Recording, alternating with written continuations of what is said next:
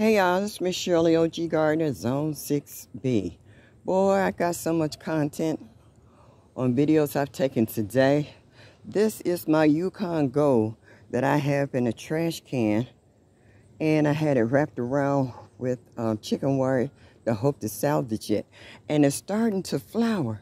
So I know within another week or so, these potatoes should be ready to dig up. And I'm going to do another video digging them up, showing you what I got, okay?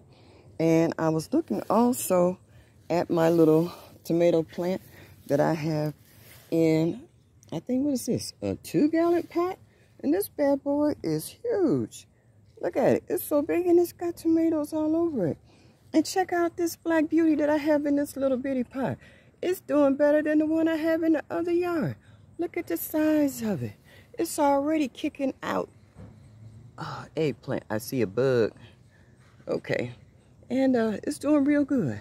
So thank you. As I always say, have a nice day. And y'all come back now. Yeah.